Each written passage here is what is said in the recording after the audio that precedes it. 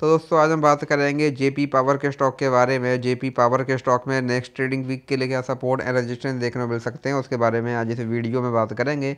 हम अगर यहाँ पर स्टॉक की बात करें तो हम देखेंगे जो ये स्टॉक है, ये हमको पिछले एक लंबे समय से यहाँ पर लगातार क्लियर अप ट्रेंड में देखने को मिल रहा है। हमको स्टॉक में हाइयर हाई हाइयर लो वाला पैटर्न यहाँ पर देखने को मिल रहा है। लेकिन अभी पिछले कुछ ट्रेडिंग सेशन से हमको यहाँ पर स्टॉक में गिरावट भी देखने को मिली है। आज भी हमको स्टॉक में five point nine one percent की यहाँ पर गिरावट देखने को मिली है।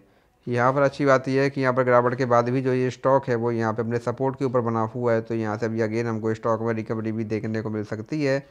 यहाँ से अगर अभी स्टॉक में रिकवरी आती है तो यहाँ से रिकवरी की कंडीशन में हमारे पास यहाँ पर स्टॉक में ट्वेंटी वन का पहला यहाँ पर रजिस्टेंस देखने को मिलेगा। अगर स्टॉक ने इसको भी ब्रेक किया देन यहाँ से हमको स्टॉक में ट्वेंटी फोर और अगर स्टॉक ने इसको भी ब्रेक किया देन यहाँ से हमको स्टॉक में अगेन एक बड़ी तेज़ी, एक बड़ी बाइंग यहाँ पर देखने को मिल सकती है। इसके बाद हमको यहाँ पर स्टॉक में ट्वेंटी सेवन और thirty thirty two thirty five तक के लेवल्स भी यहाँ से अभी देखने को मिल सकते हैं। वहीं यहाँ से अब अगर स्टॉक में गिरावट आती है तो यहाँ सब गिरावट की कंडीशंस में।